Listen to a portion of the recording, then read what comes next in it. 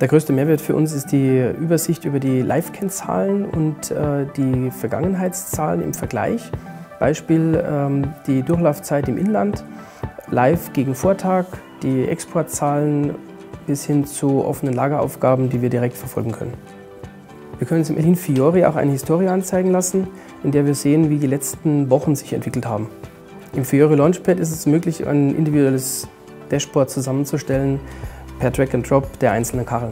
In unseren täglichen Meetingroutinen ist es uns möglich, auf die Live-Zahlen zuzugreifen und somit direkt Entscheidungen zu treffen äh, für die operativen Bereiche.